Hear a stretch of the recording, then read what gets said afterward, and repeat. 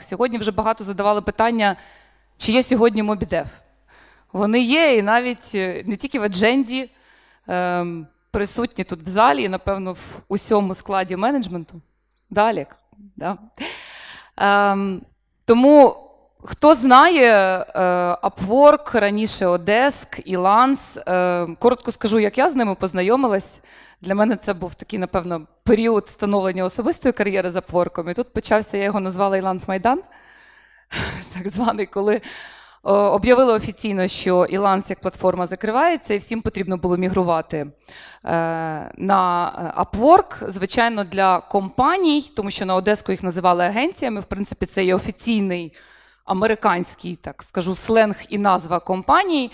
Е, це був з однієї сторони трішки шок, з іншої сторони, Upwork дійсно е, відрізняється функціоналом з точки зору роботи для компаній. І до мене в гості приїхали Олексій і Наталя з Мобідева. Думаю, все. Але ми з ними дуже добре подружилися, і насправді е, завдяки їм ми вже разом змогли змінити певні фічі на Upwork. Ще є, напевно, для всіх і для мене найголовніше, яку треба все-таки зробити. Але ще поки чекаємо. На мій жаль, але ще треба чекати. І ем, вже тоді багато хто знав Мобідев ще з Єлансу як компанію, яка є е, найбільшою в Україні на Єланці і не тільки в Україні. Зараз на Upwork вони є номером один в нашій країні і в Центрально-Східній Європі. Тому в нас сьогодні є можливість їх послухати. Я хочу запросити Олексія Островерхова. Він є Chief Commercial Officer компанії Mobidev. Спасибо, Катерина. Спасибо всем, что собрались. А, да. И за это спасибо.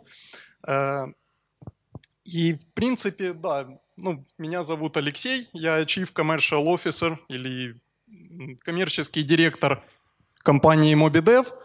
Э, и в принципе... Ага, понял.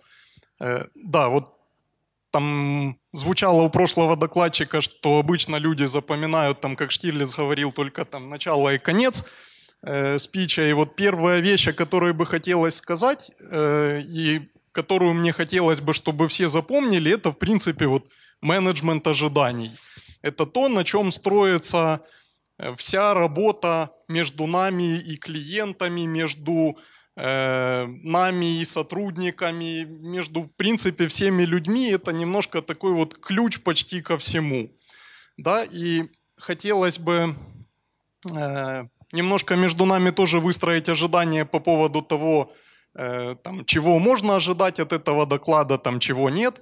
Э, и основное, что, о чем хотелось бы поговорить, э, да, мы когда с Катериной еще обсуждали тему доклада, вот о чем бы мы могли выйти рассказать, э, то звучали вопросы, вот, как себя продавать, как вот Mobidев успешная компания, как там развивать процессы, как строить компанию.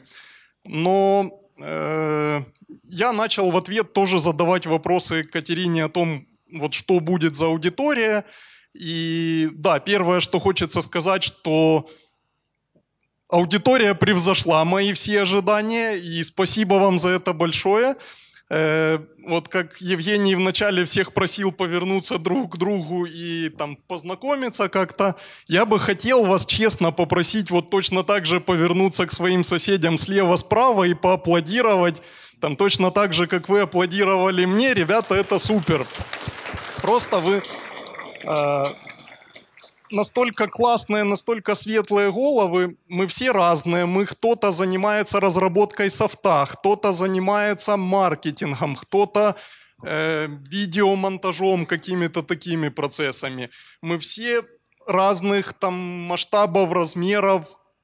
Э, кому-то проект за 500 долларов э, целевой, кому-то 10 тысяч – у нас последняя цифра вот из открытых данных, которая была, э, Елан сдавал статистику, у нас средний проект был, по-моему, 107 тысяч долларов, э, вот средний чек на клиента. То есть мы все немножко разные, и все этапы требуют немножко разных каких-то подходов. Но в чем мы общие, помимо того, что мы пользуемся обверком, Э, кстати, хотелось бы точно так же поаплодировать и низко поклониться обверку, потому что вот как Андрей э, говорил в своем докладе вот о измерении стоимости, вот сколько нам стоит обверк, э, мы немножко смотрели на эти вещи шире, мы используем разные каналы для продаж, и хочется сказать, что Upwork, он в своем роде уникален в плане соотношения вот именно затрат на получение лида, либо затрат на получение клиента.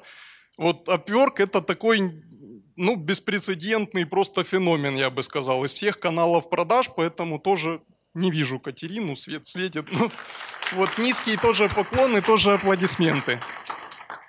Э, да, и, в общем-то, о чем хотелось бы поговорить, то есть это, я готовил, соответственно, презентацию для такой широкой аудитории, старался найти что-то общее, что-то ценное всем, не просто, чтобы вот тоже там, как говорили, пули, с моей стороны пули вылетели, я вышел, что-то рассказал, а куда попало, не волнует то вот то общее, которое нас всех объединяет, что мы не просто там программисты какие-то, специалисты, мы все-таки люди, которые смотрят на свой бизнес и с точки зрения коммерческой. То есть мы пытаемся, вот там, фрилансеры, либо люди, которые строят компании, мы пытаемся смотреть на мир немножко шире, чем просто там строчки кода. Мы смотрим на мир людей, мы смотрим на мир клиентов. И, собственно говоря, вот о нем и хотелось бы рассказать, потому что э, вот помимо обверка это вторая такая область, с которой мы сталкиваемся все. И э, ну, такой там срыв вуалей, да, там я не хотел, честно говоря, рассказывать об обверке, э, потому что в большой компании, да, у нас есть свои процессы. И да, я писал, я начинал тоже с обверка, там, я сам писал заявки, сам там заполнял свой профиль, но я больше чем уверен, что 90% из вас больше, чем я написала заявок, поэтому было бы нечестно выйти и там как-то вот так со сцены чему-то учить, да, в этом смысле. Либо там заполнять профили. Там, да, у нас есть специальные люди, которые там занимаются даже заполнением профилей для сотрудников но вот об общении с клиентами хотелось бы поговорить. Вот что им ценно, что мы можем предоставить им ценного. То есть немножко это э, своего рода дать, там не рыбу, а дать удочку, да, цель. Э, это, в общем, такое обобщение моего какого-то опыта. Э, это не какое-то такое академическое там, исследование или что-то, поэтому э, там, где-то, если нету ссылок или что-то там исторически может быть не сто процентов достоверно или статистически выверено, я прошу прощения, но это мое видение, мой опыт, мое мироощущение в данный момент. Э, ну и да, это не какой-то там вот часто вау, Мобидев, первое место на Илансе, а как? И все ждут какого-то такого, выйди в полнолуние, там, не знаю, сорви листик, приложи к какому-то месту, и там, не знаю, или какую-то секретную там ИДД, КЮД и ДКФА, да, и бабах, ты поднимаешься в рейтинге. Нет. Такого тоже, к сожалению, нету, как бы самому не хотелось. Э, да, немножко обо мне.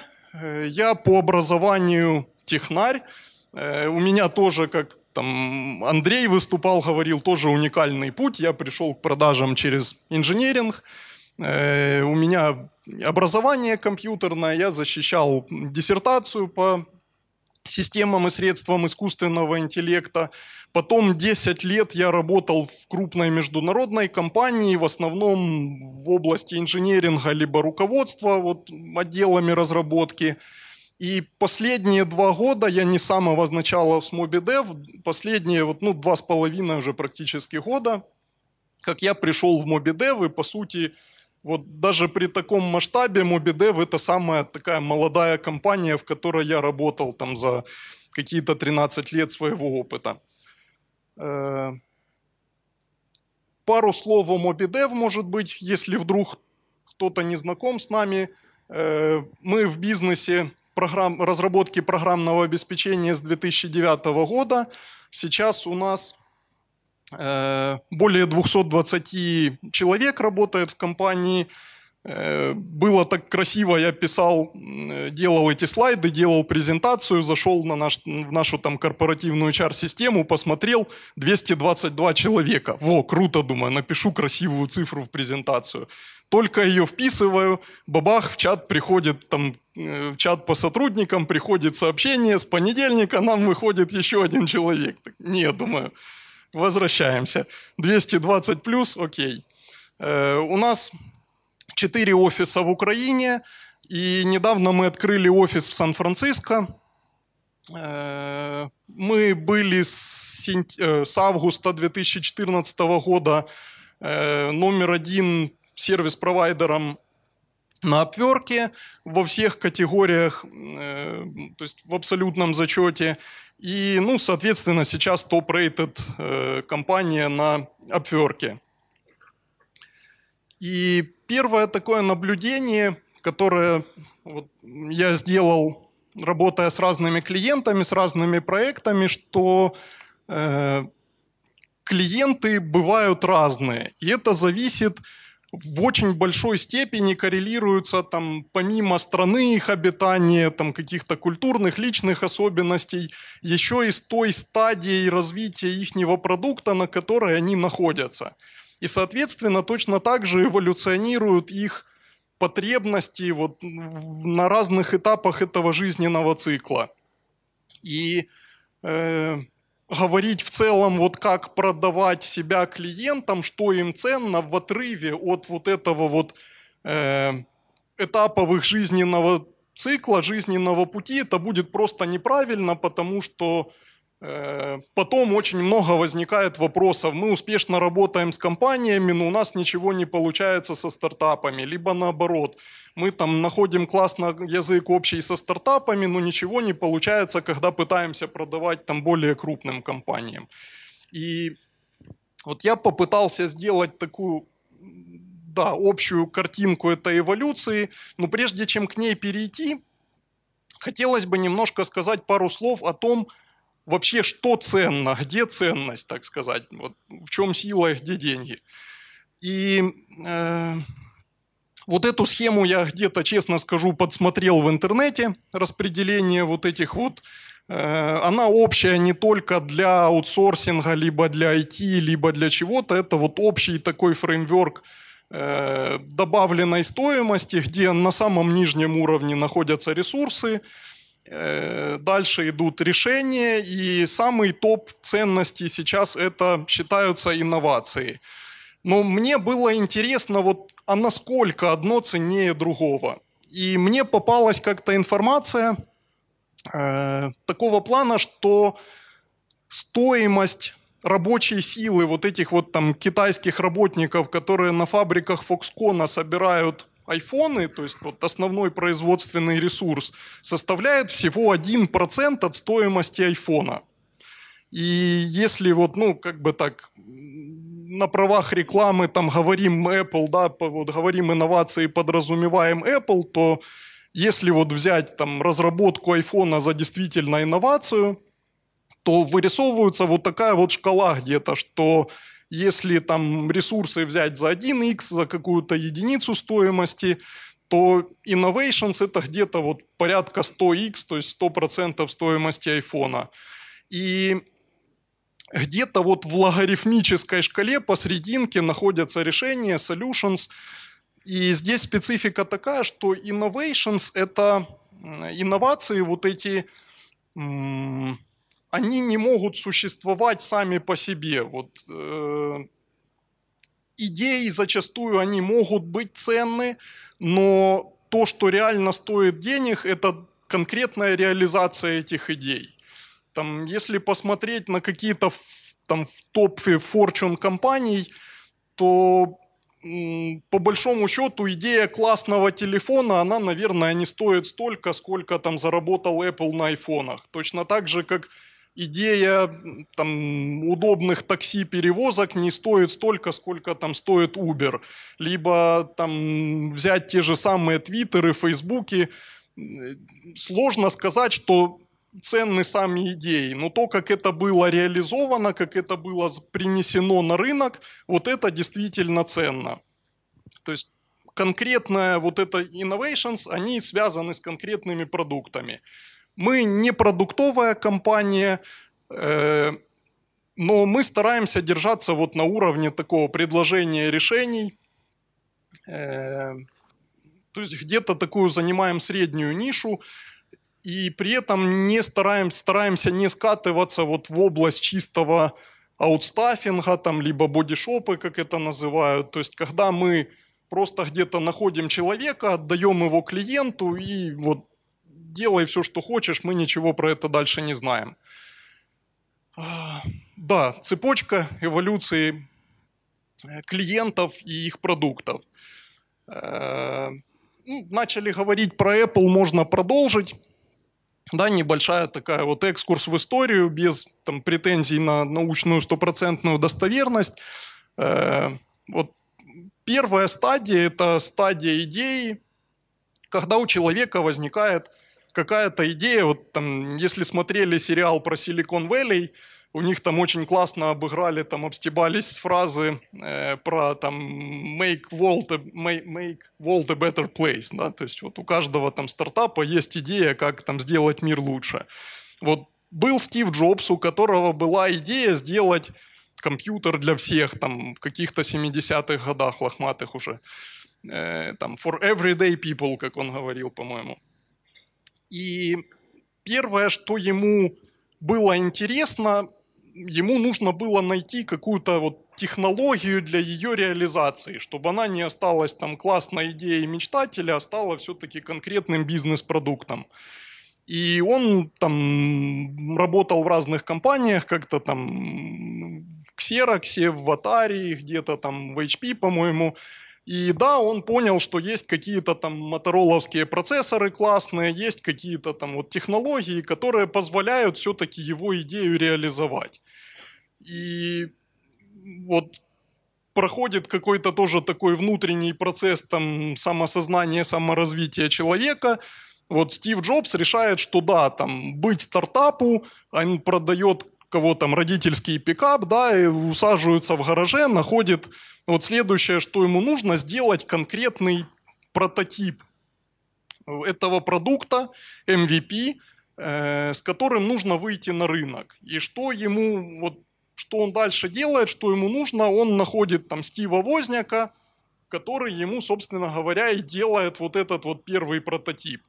Э, там вот Apple One, который они дружно продают там за 666 долларов, да, и э, по сути, то есть переходят на следующий уровень. Они получают подтверждение, что их продукт нужен, что их идея была там действительно годная, и они переходят, по сути, на следующий этап. Их продукт проходит проверку рынком, и Э, они начинают развивать бизнес, они начинают, там появляется Apple 2, там Apple 3, параллельно там стартует какая-то Лиза, потом линейка Macintosh, э, то есть они начинают выпускать новые и новые версии продуктов. Такой начинается ongoing development, то есть постоянный development новых версий продуктов.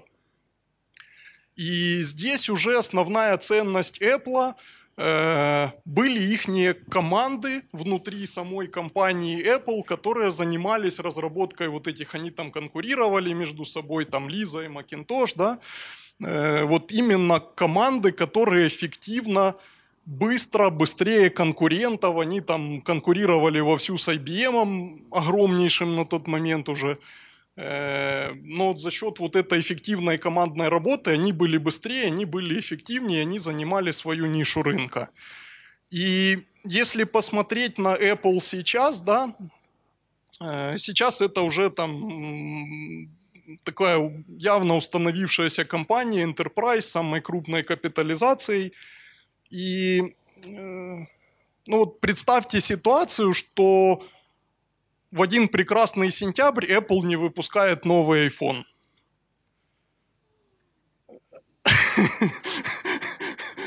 Это было очень натурально. Да, вот э, э, вот э, я к чему? Что сейчас уже немножко ситуация перевернулась, и сейчас уже у рынка есть очень такие жесткие ожидания от продукта. То есть сейчас Apple там разбейся, что хочешь сделай, любой ценой им каждый сентябрь нужно предоставить новый iPhone. Иначе вот там разочарование пользователей, падение акций, бегство инвесторов, там, ну, в общем, такая мрачная, самая печальная картина, которую вы представите, это оно. И что им сейчас вот ценно и нужно э, – им уже не столь важно, кто конкретно это будет делать, как это конкретно будет делаться, но им важны вот, процессы, нужна отлаженная рабочая машина, механизм, который будет со стопроцентной вероятностью гарантировать релиз нового айфона там, каждый сентябрь. И поэтому здесь вот в такую шкалу ценностей она немножко вот дорастает, дорастает хвостом, немножко смещается фокус, добавляются уже вот эти вот процессы. Да? Но если... Ой, ой как-то сильно быстро. Э, если посмотреть чуть детальнее, то вот на стадии идеи, как мы говорили, что вот у этого товарища, там, будущего даже еще продукт-оунера, э, у него есть идея какого-то продукта или сервиса, который он хочет сделать, и ему нужен конкретный бизнес-план, как воплотить, собственно говоря, эту идею в жизнь и привести ее к вот этой вот ценной реализации. И э, как уже там говорил, э, основная ценность здесь это вот эта техническая экспертиза, это знание технологий, там state of the art, state of the market, э, технологий, которые позволят воплотить эту идею. И здесь два таких важных момента – которые нужно понимать, это, во-первых, изучение вот feasibility стадии, то есть э, вообще реализуемости продуктов. Там, то есть, ну, условно говоря, если я захочу сделать мобильное приложение, которое бы мне варило борщ без каких-то сторонних, там, сторонней помощи, то, наверное, вот я пока сильно опережаю время и вряд ли достигну там в ближайшем времени успеха, да. Э, дальше второй момент – это грамотный выбор технологического стека. То есть не всегда нужно брать там самую крутую, самую передовую технологию. Э, не всегда может быть э, есть вообще решение там конкретной задачи в рамках вот там, например, чисто программными средствами сварить борщ нет, но, например, если там сделать это как дополнительный сервис там какой-то там вот физической IRL, да, в реальном мире кухни, то это уже будет очень ценное решение. То есть выбор главный технологического стека. Дальше, когда вот на стадии такого начального стартапа, когда есть вот четкое видение продукта, есть четкое видение, как его можно реализовать, то, собственно говоря, нужно сделать MVP этого продукта, с которым выходить в рынок, проверять э, отклик клиентов, насколько рынок принимает продукт или нет. И здесь вот важен конкретный талант, который, который поможет, собственно говоря, реализовать эту идею. Здесь у вот этого вот начинающего предпринимателя, там вот с бизнес-планом в ручках, э, у него есть в принципе, два основных пути. Он может либо начать строить свою техническую команду у себя in-house, либо, э, либо работать с каким-то software development partner. Это может быть либо фрилансер, это может быть компания. Э, здесь немножко э, такой вот важный момент, вот что, что ценно клиенту, вот зачастую это те ребята, которые приходят и у которых вечно не хватает денег. Э, ну, нет, окей, основные ребята это вот эти ребята. Но грамотные из них, они становятся вот такими ребятами. И вот если взять там, например, кто больше знаком вот с миром стартапов, то там есть разные такие этапы получения финансирования. И вот если вот с вот этим вот этот товарищ может пройти там seed раунд, либо получить деньги, там, как говорят, 3F, там Friends, Family, Fools, э, то есть когда спонсируют там из своего кармана, либо вот там друзья, родственники и дурачки, кому он это мог, смог продать, э, то на следующем этапе ему нужно будет вот пройдя вот этот MVP этап, ему нужно будет показать бизнес, показать клиентов, показать продажи.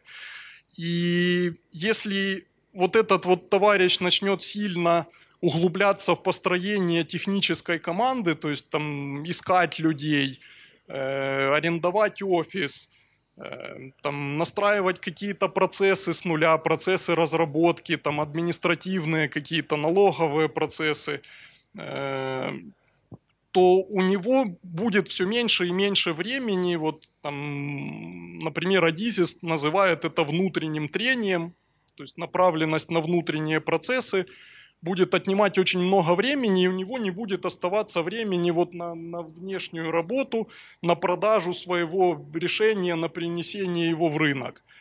И Поэтому, скорее всего, ну, по крайней мере, с большей вероятностью, там, человек, который погрузится полностью вот в эту такую домашнюю работу, у него будут проблемы на следующем этапе там, получить Series A, фандинг, или вот, при дальнейшем там, развитии вообще своего бизнеса. Если он работает с, например, там, компанией, как мы, то большая часть вот этих забот, она отпадает. Э, у нас есть команды специалистов в разных направлениях, профессиональные там дизайнеры, профессиональные тестировщики, разработчики, iOS, Android, там, веб, бэкенд, фронтенд. То есть э, каждую, каждую работу максимально эффективно будет делать именно специалист вот в этой области. Э, что еще ценно? Э, да, это же там и человеку не нужно заботиться там о поиске этих людей, их мотивации, там какой-то бухгалтерии, их зарплат, office space. Э, эти все проблемы решает работа с фрилансерами также, но э, немножко компании, я считаю, дают чуть-чуть больше ценности здесь клиенту. В каком плане, что, э, например, простейший, простейший пример – iOS-приложение, чтобы его протестировать, нужно добрячую пачку разных устройств иметь, потому что рынок очень фрагментирован. Нужно иметь там, ну, у нас, я не знаю, наверное, там десятка-полтора устройств обычно разных проходит вот каждое приложение, чтобы гарантировать более-менее там стабильную ожидаемую работу на широком парке устройств. Э, купить их для одного приложения, для одного проекта, это может съесть весь бюджет вот просто на покупку только устройств для тестирования.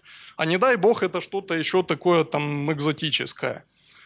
Э, соответственно, если там мы компания, у нас вот на такой взять, если срез порядка 80 активных проектов сейчас, то когда вот эти вот стоимость устройств делится, условно говоря, на 80 клиентов, на 80 проектов, это получается намного интереснее уже э, для бюджета заказчиков. То же самое про профессиональные HR-сервисы, там, administration-сервисы, э, это все вот в ту же копилку считается. Дальше третий этап – опытный стартапер, э, у него уже есть продукт, который принят рынком, и вот он переходит вот эту стадию постоянной разработки, потому что возникают конкуренты какие-то. Если это годная идея, то не останется эта ниша на рынке пустой, обязательно кто-то тоже что-то такое придумает и начнет реализовывать, возможно, со своими какими-то новыми фишками, на которые нужно будет отвечать. Э, сам клиент придумывает какой-то новый функционал, начинаются, э, начинают поступать отзывы от клиентов. Э, мы не продуктовая компания, но такое для собственной, собственного развития, тренировки делаем какие-то продукты абсолютно бесплатно. Там, и для демонстрации другим клиентам, например, вот небольшой практический трик – Э, потому что, например, мы не можем показывать код э, приложений, которые мы делаем для других заказчиков, но если это наш внутренний продукт, и мы владельцы этого кода, то мы можем его показывать. Э, и заодно мы выкладываем их там на те же Google Play и App Store, и, и вот грубо говоря, немножко вживаемся в роль наших клиентов, смотрим, какие нам пишут фидбэки, и начинается такое, там, ваш music player не видит все файлы на моей флешке на таком-то устройстве, там. А вот у вас там суперплеер, ну вот если бы у вас была фишка там из другого плеера, то я бы вот вам поставил все 7 звезд из 5 и любил бы вас больше всего, ну вот одна фишка там, вот все, жизнь жить не дает, кушать не могу. Вот приходится на эти все э, отзывы тоже как-то реагировать, постоянно улучшать и развивать продукт. И здесь уже важна команда, которая будет максимально эффективно э, выпускать вот эти новые и новые версии продукта. Начинается там на версии 1.0 жизнь продукта совсем не останавливается, она только начинается. И там вот женщины многие знают, наверное, что там родить ребенка это такое намного проще, чем вырастить, там, воспитать его, вывести в люди. Вот абсолютно та же самая, тот же самый принцип и с любым продуктом. Это ребенок, заказчика, вот как звучало, что фрилансер должен жить там, работая любить, вот точно так же для стартапера его продукт это становится его ребенком. И здесь тоже что может быть ценно? Во-первых, вот это вот простота. Э, клиент может полностью сконцентрироваться на работе с конечными пользователями, над удовлетворением их потребностей и решением их проблем. И, по сути, весь development может взять на себя вот всю работу такую бэк-офиса, может взять на себя вот, software development partner такой. Э, здесь ценно, во-первых, полный цикл разработки. То есть не так, что клиент приходит там, ребята, мне нужно сделать вот такое-то приложение, мы говорим, ну ты пойди найди, кто тебе сделает дизайн, например, а мы потом посмотрим, как его имплементировать э, это менее ценно, чем, опять же, комплексное решение, потому что требует меньше времени и усилий на вот это вот внутреннее трение у клиентов.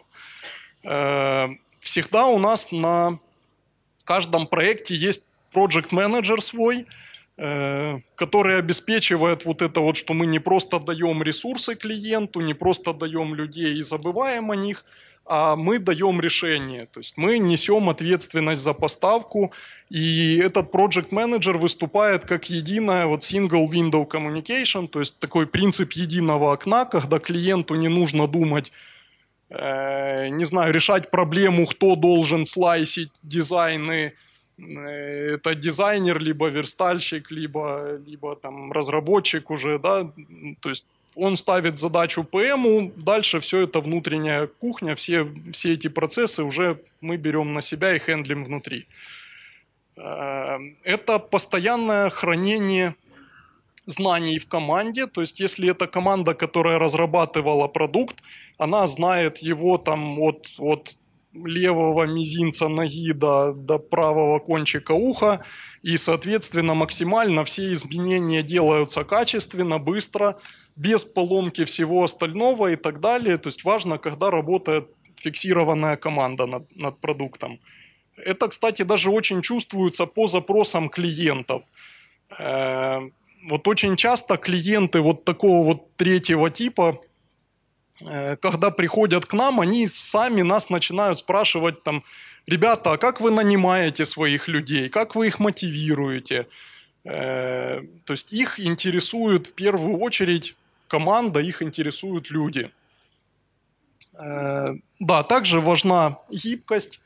Э, здесь, опять же, может быть немножко э, преимуществ компаний над наймом единичных фрилансеров для разных задач, что зачастую у нас в компании есть там, из 200 человек зачастую можно найти эксперта, даже когда заходят какие-то экзотические задачи, например, разобраться с драйверами для посттерминалов каких-то. Хотя это не наш домен там немножко, но о чудо, среди 200 разработчиков, там, ios андроидчиков находится человека, который, оказывается, там, знаком с какими-то опос-архитектурами и чего-то в этом знает.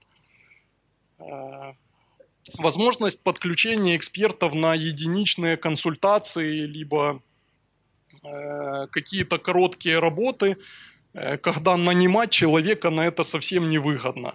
Вот как Татьяна рассказывала, когда возникают такие единичные задачи, либо part-time задачи, то вот даже, даже они как компания пользуются услугами э, сторонних фрилансеров. Вот. Ну, у нас, там, опять же, из 200 человек зачастую эти все вопросы закрываются внутри компании. Да, это надежность. Вот э, звучал вопрос про э, заодно такое лирическое отступление, вот о неуведении клиентов, там вот Андрей ссылался на нас, на MobiDev, это действительно, да, один из таких наших принципов и подходов, и здесь немножко вот э, с одной стороны вроде как, да, терять вот эти там 10-5%, сколько-то э, денег, это мы их теряем и вроде как вот могли бы не терять, могли бы там увести клиента, но если это понимается как инвестиция, если мы принимаем такое вот стратегическое решение, что да, Upwork это классный канал, мы его будем развивать, мы будем там, сотрудничать и там, расти в, этой, в этом направлении, то вот эти комиссии, они рассматриваются уже не как там просто потеря денег, это рассматривается как инвестиция в развитие канала продаж. И вот здесь вот, в принципе, даже там, ну вот конкретно бренд MobiDev, например, на как э, в свое время там номер один сервис-провайдер на Елансе, он имеет свою конкретную цену, и я бы сказал, это уже так в семизначные цифры переходит. Эта сумма. И понятно, что, например, ну, грубо говоря, ради проекта даже там 100 тысяч долларов – нам не будет интересно рисковать своей репутацией и как-то вот там, не знаю, ну, пользуясь нашим, нашим э, сленгом, терминологией, да, какой-то там кидать клиента даже на крупную сумму денег нам не интересно, потому что на кону стоит еще более крупная сумма денег всегда, и клиенты это тоже понимают прекрасно. Э, да, здесь там, опять же, наша гибкость в замене персонала, то есть если кто-то ушел, заболел, не знаю, спился, что угодно происходит, это жизнь, у нас всегда есть какой-то пул, большие команды, мы всегда можем найти замену, это тоже ценно. И очень важный еще такой момент – это подход к информационной безопасности. Вот особенно ребят, вот, которых уже выходят на такой хороший опытный уровень, опытных стартаперов хотя бы, э, у них уже обычно есть какие-то свои вот эти практические конкретные наработки, ноу-хау, э, какая-то внутренняя уже там коммерческая важная информация. Им очень важно и ценно э, вот этот момент подхода именно к информационной безопасности. И здесь обычно серьезные компании тоже относятся к этому серьезно. Мы с каждым нашим клиентом подписываем соглашение о неразглашении. Мы точно так же с каждым из наших сотрудников подписываем такое же соглашение о неразглашении. То есть это все очень-очень серьезно. И там есть какие-то люди специальные, которые занимаются этим как с технической стороны, с юридической стороны. То есть это тоже очень важные моменты, это очень ценно вот, клиентам, которые уже дорастают до этого уровня. Дальше установившиеся компании, либо уже крупные энтерпрайзы, у них особенность в том, что зачастую у них уже есть большой и мощный продукт на рынке. Э, как мы говорили, им важна постоянная поставка, но продукт растет, меняется, возникают какие-то такие сторонние сервисы и продукты, которые поддерживают основной продукт. Вот есть, например, мнение, что Apple сейчас разрабатывает все остальные свои продукты, кроме iPhone, с одной передовой мыслью поддержки продаж айфонов. Не знаю, не буду спорить, опять же, это не моя идея, но в чем-то она вот такое имеет, имеет свой смысл. Э, когда я перед MobiDev работал в другой крупной компании, у нас был опыт работы вот как клиента вот такого вот четвертого типа с аутсорсингом. Я очень пытался перетянуть это одеяло в Украину, но, к сожалению, не получилось, честно признаюсь. Мы работали с польской командой, и немножко вот тоже была возможность почувствовать себя вот на, на другой стороне, с другой стороны вот этих баррикад каких-то своего рода, как минимум интеллектуальной войны, да. Э, и вот очень что важно здесь, что вот нас уже не сильно действительно интересовало там конкретные личности, там мы не спрашивали резюме этих людей, которые будут работать, либо их опыт, но нам важно было, у нас там какие-то большие обещания перед инвесторами, перед заказчиками, нам важно было вот действительно четко получить продукт в конкретный срок, и первое, вот на что мы обращали внимание, это были именно процессы. То есть, по сути, наш вопрос основной э, вот команде, с которой мы работали, звучал так, что, ребята, как вы нас убедите, что вот, вот этот какой-то объем работ, он действительно будет сделан там вот в таком-то объеме, к такой-то дате там. И э, вот здесь хотелось бы привести немножко пример такой схемы коммуникации, как это зачастую бывает. То есть, если э, первый и второй тип клиентов это зачастую один человек, то там третий тип это уже обычно какая-то группа однодумцев, то четвертый тип это уже какие-то вот такие очень-очень сложные конгломерации, когда там зачастую делается параллельно несколько подпроектов, у которых есть разные там продукт-оунеры, ними руководят разные люди, где-то там в бэкграунде есть какие-то большие боссы или инвесторы, которых э, вот подрядчик зачастую ни, никогда не видит и не знает, но они, они очень сильно влияют на, на качество жизни как-то. И чтобы все это там заменеджить как-то, вот я решил привести одну картинку. Вот кто знает PMBOK, да, там PM Body of Knowledge, Э, э, это такая библия для любого проект менеджера это основной такой мировой стандарт, фреймворк по управлению там, всеми проектами. И вот это вот просто 10 областей знаний, которые нужно качественно заменеджить, чтобы там продукт был гарантированно успешным. Ну, это такое отдельная огромная лекция, там мне уже тайм-ауты показывают, поэтому немножко ускоряемся. И все-таки я не смог себе отказать, там, дать и пару практических советов, вот какие выводы можно из этого сделать и остановиться на моделях взаимодействия в первую очередь.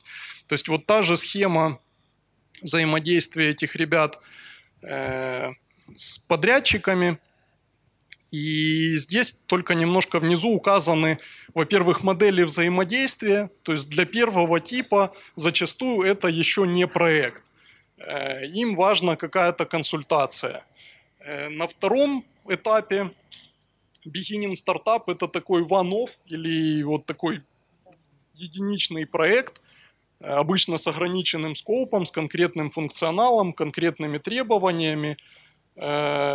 Дальше для опытного стартапа, для вот этого ongoing development, это dedicated development team какой-то. То есть постоянная команда разработки. И для четвертого типа, так как у них уже есть продукт, соответственно, основной продукт, либо там сердце продукта какое-то, у них обычно есть уже и команда, которая его ведет. И от software development партнера нужно расширение, вот team augmentation это называется. Э, такие быстро тогда конкретные хинты. Вот по первому типу, по консультациям. Вот две коротеньких истории. Буквально там, неделю назад я проверял нашу внутреннюю CRM-систему вот, по поводу эффективности работы sales команды И я заметил один закрытый контракт, э, Potential, в нем стоит lead source, то есть то, откуда к нам пришел клиент, стоит Еланс. Я думаю, ага, сейчас у меня кто-то отгребет. Какой Еланс, простите, в ноябре 2016 года? Э, но оказывается, таки правда. Действительно, я там вот немножко обрушился праведным гневом на сейлса, но оказалось, что действительно мы начали общаться с этим клиентом еще э, год назад практически. Тогда у него, как оказалось, не было бюджета, но мы с ним провели какую-то вот качественную работу. Вообще есть такой интересный человек Михаил Толковинин. Э, он такие вот поищите его видеолекции, вот если интересно по продажам, он говорит какие-то такие э, в интересном еще формате, с такими вот он сам из Москвы, там с соответствующей подачей, ну очень, очень интересные вещи многие говорит. Он говорит, что все искусство сейлза раскрывается на самом деле не при продаже, а при отказе. Потому что когда ты видишь, что продажи быть, и ты даешь какие-то обещания, то, ну, опять же говоря быстро и просто, за базар придется отвечать и эти все там сладкие обещания как-то когда-то выполнять. А если ты видишь, что продажи не будет, то по сути вот здесь можно себя там хвалить вот на, на все 100, 110, 120 процентов, там, насколько можно. И здесь важно обучить клиента. Если человек приходит и хочет сделать там Facebook э, с пятью тысячами долларов в кармане, то это не значит, что он глупый, там, да, и, ну, иногда значит, но зачастую все-таки нет. Ему нужно объяснить, что там, товарищ, да, ты не понимаешь, может быть, там, масштабов трагедии, ты не эксперт в разработке там софта, но это стоит там, допустим, даже для MVP это речь там о 200 тысячах долларов. Но за 5 тысяч долларов мы можем тебе сделать какой-то там, первый дизайн, мы можем сделать тебе интерактивный прототип, с которым можно идти э, к инвесторам и там как-то там, начинать процесс фандрейзинга, либо что-то и идти уже к его цели. Поэтому э, вот моя такая поправочка вот к советам, которые здесь звучали по фильтрации клиента еще, э, вот не списывайте со счетов вот таких клиентов. То есть с ними можно общаться, их можно консультировать. Мой первый самый лид, с которым я общался еще на Одеске, э, он хотел сделать, у него уже был сайт, он хотел сделать редизайн. Мы с ним две недели общались, и вот так, чтобы там, сделать ему качественный редизайн сайта, это вышло на новый уровень, у него не хватало бюджета ровно в два раза. То есть мы тогда с ним не сошлись, продажа не состоялась, но прошло чуть больше полгода, э, он привел к нам своих друзей, потому что знал, что мы там, классная толковая компания, мы грамотно там, подходим к вопросу, к делу. Вот такие клиенты, они могут возвращаться вот таким вот способом. Там, не нужно их упускать, нужно работать, там, выделять здравое звено. Даже из вот таких вот ребят, у которых еще там нету ни денег, ни возможности сделать продукт. Э, для beginning стартапа единичный проект – лучшая форма работы – fixed price contract. Вот то, о чем задавали вопрос Евгению, почему, почему не Аурли, вот вроде как все любят Аурли проекты. Э, вот абсолютно в плане менеджмента ожиданий, установки четких ожиданий, что клиент получит за какую сумму и в какие сроки, для относительно небольших проектов, вот наш опыт абсолютно это подтверждает, fixed price контракт это вот, ну, действительно самый оптимальный вариант. Э, для более крупных MVP, потому что бывают MVP тоже там на тысячи часов разработки, Здесь зачастую работает лучше Time and Materials, потому что большой скоп, уникальные продукты, абсолютно точной оценки нету, риски слишком большие, либо клиент переплачивает, либо мы попадаем там на какие-то деньги на бесплатную разработку, это никому не интересно. Вот на более крупных проектах работает time and materials подход намного лучше, то есть hourly контракты. И здесь еще важно что, полностью определить требования к огромной системе может занять тоже не один месяц и не одну тысячу часов. И за этот месяц может закончиться все тем, что э, вплоть до пивота. То есть когда там продукт полностью меняет свое назначение у клиента. То есть можно потратить месяц на детальную проработку требований вот для estimate на fixed price, потом через месяц все это выкинуть. Поэтому вот для таких lean и agile подходов э, однозначно time and materials это вот the way to go. Для experience стартапов здесь однозначно вот dedicated team, то есть это команда вот та самая, которая будет вести эффективно эту разработку.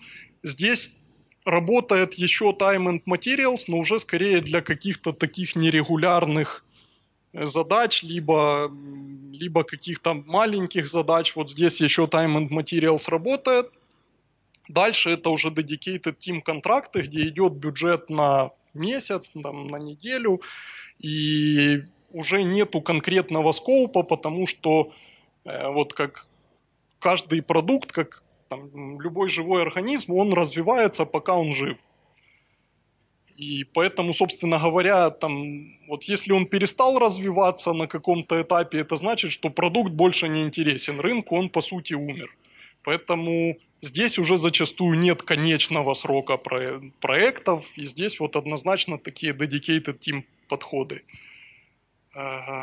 Четвертый тип в принципе, все то же самое. Вот один важный момент, о котором бы хотелось сказать, что так как у компании заказчика вот этой вот есть, в общем, такое команда и свои какие-то такие релиз-сайклы, свои инструменты, которыми они пользуются, э, свои процессы налаженные, то здесь очень-очень важный момент, что э, компания-подрядчик, либо вот те люди, которые будут подключаться как вот дополнение вот этот Team Augmentation к существующей команде заказчика, они должны быть хотя бы сравнимого вот уровня развития.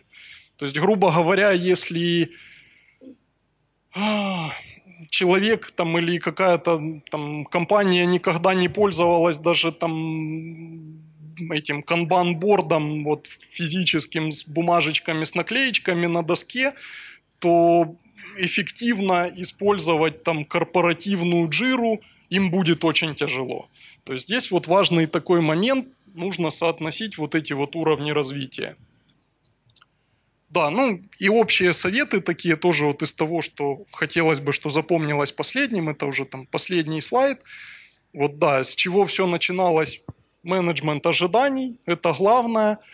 Э, хуже всего, когда вот действительно происходит рассинхронизация ожиданий. Э, самый страшный такой сценарий, вот ночной кошмар, если меня спросить вот такое там, что не надо делать, то самая страшная вещь это когда э, вот приходит довольный клиент, там, говорит, ребята, мы посмотрели там ваш сайт, ваше портфолио, у вас такие классные там мощные продукты, там, ваш профиль на отверке, там, все классно, мы стартуем. И мы начинаем там, допустим, вот по какому-то time and materials hourly контракту мы работаем, работаем, работаем – у клиента там какие-то хотелки, мы там все это имплементируем классно, качественно, но в один прекрасный момент у клиента начинают заканчиваться деньги.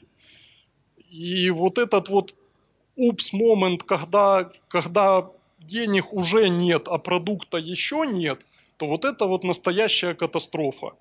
И очень важно, чтобы все четко понимали и, соответственно, следовали тому вот на каком этапе что будет получено. И здесь вот, и вот это то, что звучало проговорение «нет заказчику», когда мы знаем, что у него ограничен жестко бюджет, он начинает там впихивать «ребята, я придумал еще классную фичу». Вот, товарищ, вот, остановитесь, э, иначе вы там, да, у вас будет классная фича, но не будет продукта в конце. Там, нужно всегда постоянно коммуницировать, потому что наладить вот эти ожидания, установить их без коммуникации это просто невозможно. Нужно быть таким немножко open-minded. Э, самое больше, вот я 10 лет отработал в инженеринге, и когда перешел в коммерцию, то больше всего, что мне понравилось, это клиенты оказываются обалденнейшие, замечательные люди. У них такие светлейшие идеи, у них столько всему можно научиться, и уже хотя бы этим они достойны того, чтобы их там внимательно слушать, раскрыв рот. Э, и они это тоже чувствуют, они на это реагируют, что вам интересен их продукт, они понимают, что вы пытаетесь не просто им впарить там пирожок с какашкой какой-то и убежать быстро за угол, пока клиент не надкусил и не понял, с чем он, да. То есть это вызывает и доверие.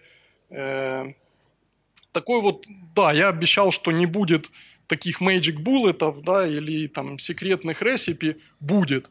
Один, э, персональные встречи. Вот, вот это такой немножко такой game changer. То есть даже когда все идет к катастрофе, когда там скандалы с криками, э, бывает такое даже с американцами, вот персональные визиты, они меняют все, вот переставляют легко с ног на голову, это позволяет там такие ситуации вытягивать вот с дна, поднимать там до того, что клиент оставляет five-star фидбэки и более того, сам предлагает нас рекомендовать там, на, на новых для нас рынках, то вот это вот действительно magic bullet. Поверьте, там даже 2000 там, долларов какие-то полет в США, он может очень-очень сильно окупиться вот этим вот, оно того стоит зачастую. Если там часто колебания, блин, дорого, стоит оно того или не стоит, стоит. А, да, собственно говоря, вот это вот стейтмент о том, что нужно всегда следить за изменениями, и самая такая вот чума всех проектов, это такой requirement script, когда ну, там начинается с одного, заканчивается там, вот, начинается хай-тек, заканчивается хай-так, то вот это печаль, и до этого не нужно допускать, и вот где-то здесь нужно, да, вести клиента, там где-то ему тоже помогать и подсказывать, э, приоритизировать какие-то задачи. Ну, и последнее, вот тоже вывод из того, что я говорил, что э, любой продукт, он такой вот, есть у него начало, но нет ему конца, пока он жив, то основной критерий в выборе клиентов, вот представьте, что вам с ним работать года. И у нас есть клиенты, с которыми мы работаем с 2010 года, и там команды десятки человек. И там вот, ну, такое, жизнь прожить не поле перейти, то есть много очень всего происходит разного, и взлетов и падений, и у нас, и у клиентов, и выбирая клиента, вот готовьтесь к тому, что всегда готовьтесь к тому, что это всерьез и надолго. Это человек, с которым вам ходить в разведку.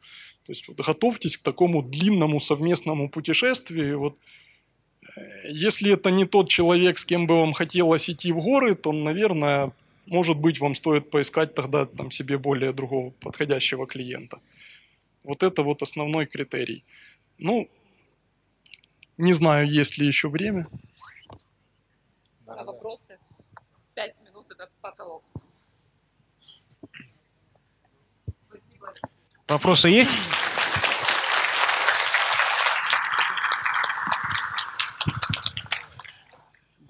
Спасибо за ваше выступление. Все как бы интересно, ясно. Такой вопрос. По оценкам срока проекта, понятно, что эта вещь такая не всегда точная, как бы, да? Угу. Как вы добиваетесь, какая у вас статистика как бы провала сроков проектов, э, и как вы там решаете эти вопросы с клиентами в конце, вот, э, когда такие ситуации все-таки случаются? Так, ну, Спасибо. честно сказать, опять же, вот э, по порядку конкретной статистики, что вот сказать конкретную цифру, там мы, допустим, 68% estimate ов выполняем с точностью до 10%, у нас в принципе нету. Э, то есть основное вот здесь э, это постоянное общение с клиентами. Вот звучал здесь совет там каждые там, полгода, либо сколько-то 3-4 месяца там, дергать клиента, спрашивать, как дела и как-то с ним синхронизироваться. Вот я бы сказал, что это нет. Иногда это два раза в день даже. И вот таким образом постоянно это все корректируется. Понятное дело, когда идет речь о проекте на годы, меняются требования, меняются там всего невозможно учесть, понять, особенно с учетом того, что то, что вот там, когда нужно там пич какой-то произнести, да, чем мы занимаемся, вот мы это называем custom business software development. То есть это такие нетипичные решения, это кастомные какие-то уникальные решения, и их со стопроцентной вероятностью оценить нельзя. Есть у нас замечательная статья на блоге и лекция. Есть у нас такой товарищ Андрей Макаров, который э, вот главный эксперт у нас по этому, по оценкам, и он рассказывает некоторые такие секреты и практические приемы. Это долго, у нас всего 5 минут, э, но основа это декомпозиция, это опыт, Э, да, нельзя оценить там со стопроцентной вероятностью какой-то вот ты видишь кастомный скрин приложения, о что это? Да, мы никогда такого еще не делали, мы не можем точно с уверенностью сказать, сколько он будет занимать. Но если его декомпозировать, там, мы делали кнопки, мы делали там какие-то радиобаттоны, мы делали там input филды, и уже каждый из этих полей уже можно более-менее реально оценивать. И вот такие декомпозиции, они помогают. И это еще один из, из таких вот возможностей, вот звучал вопрос кому-то из предыдущих спикеров, как показывать свою ценность клиентам. Вот это один из тех тоже моментов, когда клиенты понимают, что мы поняли их проект, по сути, до винтика. И это помогает и нам, и это помогает клиенту поверить в нас. Добрый день. Меня зовут Алексей. А, вопрос по поводу комплексных решений. Вы говорили, что это очень важно. Естественно, покрыть все невозможно, поэтому вопрос такой. А, как вы коммуницируете с клиентом, когда передаете его подрядчику? Он коммуницирует через вас или напрямую с заказчиком? Спасибо. О, вот не совсем понял про схему. А, когда у вас есть клиент, и у него есть потребность, э, которую вы не можете выполнить своими ресурсами, uh-huh. вы а, привлекаете подрядчика. Как клиент коммуницирует? Через вас непосредственно или напрямую вы его передаете подрядчику? Честно сказать, даже немножко затрудняюсь вспомнить кейс, когда мы вот передавали что-то совсем подрядчику. То есть обычно все-таки из моего опыта все это закрывается внутри нашей нашей команды. Но здесь основной такой вот, я абсолютно готов подписаться под словами тоже предыдущих докладчиков, что основной момент говорить клиентам правду.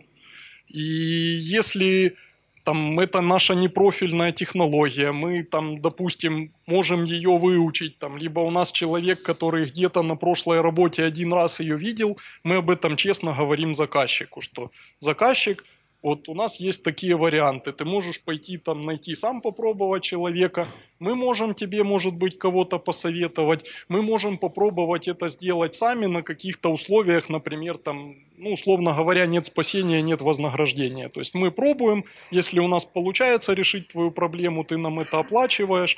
Ну, не получается, извините, мы, мы сделали все, что могли.